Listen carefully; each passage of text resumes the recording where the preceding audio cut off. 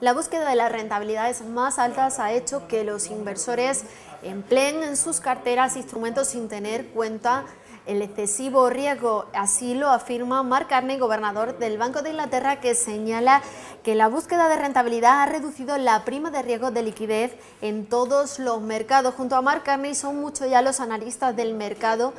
que resaltan esta trampa de liquidez esa en la que muchos inversores han caído y que piensan que podrán deshacer sus posiciones en cuanto quieran para marcar Ney